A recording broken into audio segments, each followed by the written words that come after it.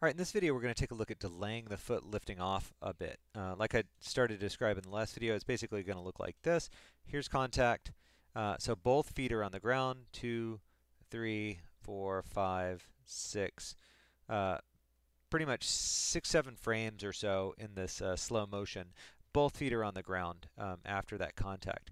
And what we have right now is the, the feet uh, get to the ground and I'm going to go ahead and set this back to uh, cycle in place here.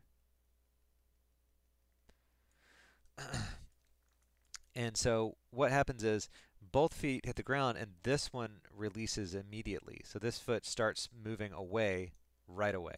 And I don't want that. What I want to do is make this foot hold its position at least until, say, frame 2 here, and then it releases from the ground. It can already be coming up on the toe. There's a lot of other stuff that we might mess around with, but I just want it to hold that position.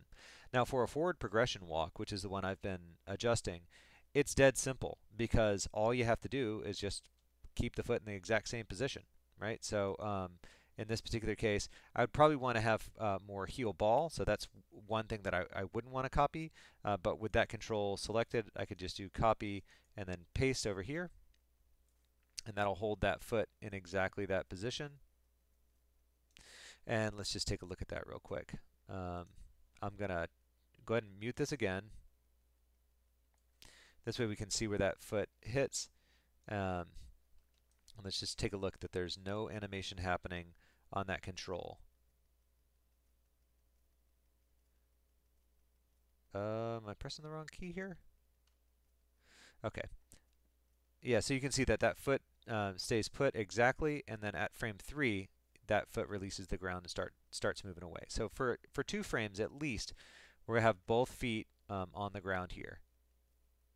And then it comes away.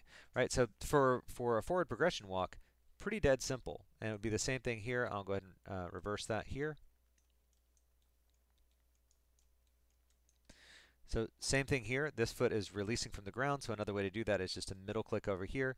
You can see that all of these values um, have been updated at this point, so I'll just go ahead and key those. And now that foot will remain in that position. And again, I can just do this with Alt period. You can see that they all, it all sticks and it just stays. Right? So no problem at all. Forward progression, just key it again where you want it to stay. It's clear that uh, by here I'd want to have some variation done to this like this leg should be a little straighter it should be more up on the toe a little less uh, ball bend at this point but those are all refinements that I'll that I'll do in another video that's more focused on what's going on with the knees um, for this one that's that's pretty much where I wanted this to get uh, so I'll go ahead and save this as part two and then uh, I'll show you on this other one it's a little different um, process for this uh, cycle in place so uh, for the cycle in place, it is useful to actually see this thing uh, in the in the forward motion. So I'll go ahead and I'll leave that on for now. Um, we'll set this back down to 24.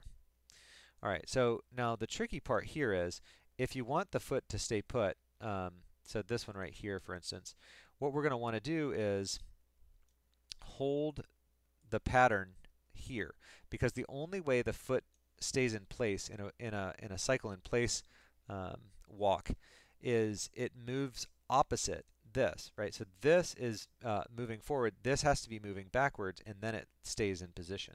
Otherwise, that foot starts sliding forward right away.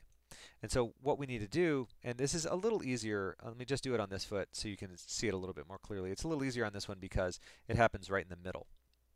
So from here to here, uh, that's linear, and we want that foot to stay on the ground a little longer. That means it needs, needs to con continue to move backwards at exactly the same rate until we lift it off from the ground. Right. So this is uh, close, but not quite right. Um, so let's just take a look at, at, what that would look like. So the way that you would do this is you'd get the value change because this is a linear change that's happening here. Right. Any any two frames are, are easy uh, to to see here. So this is translate z, it's at 2. So then uh, one frame ahead, it's uh, 1.667, 1.333, right? So it's uh, 0.334 um, or 0.333 each time. So basically dropping off a, a third here. So uh, we're basically going to do that exact same thing onto um, onto the foot here. So we put another key at 14 and we'll just um, offset that amount here. So um, so again, you can you can do this calculator to get the exact value, but it should be 0.667. Um, so 2 minus, um, 1.333, right? Um, so that's the value that um, that we're looking to to shift, and the value that we were looking to shift that from is the final value where the foot ends up. So the foot ends up at negative 2, and we want it to to keep moving this direction, so we need to subtract another uh, 0.667 off of that. So I'll, I'll middle click um, over to frame 14 here, and then this value would be uh, 2.667. Right, so that means this continues to move back at the exact same rate as, as everything else here. And you can see that there's uh, it's eased, which is you know not what we'd want. We want to grab this guy here and set it to linear. Now you can see that that path is exactly the same. Right, so really that the idea there is this holds that position um, for longer and again you can see that that creates all sorts of problems that we'll have to get resolved here but that foot holds that position uh, so that both feet can be on the ground at the same time and it's basically the same thing on uh, on this foot it's just a little bit more confusing because you have to go sort of across um, this part here here so we're going across the the loop itself but it's basically the same thing so here it's it's negative 2 so um, 2 in from that, it's uh, negative 2.667.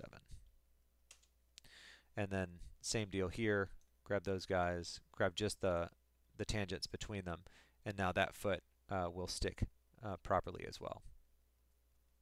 Right, so it's a it's a different process to get the the foot to stay in place in either method. I would say that the forward progression is is dead simple and easy to understand. Uh, but if you're working on the cycle in place, it's not so bad. You just got to make sure that the exact value change per frame is maintained until the foot releases from the ground, and it should stick uh, just fine. So in the next video, we'll take a look at actually refining the foot and the knee uh, to really get this walk to look a lot better.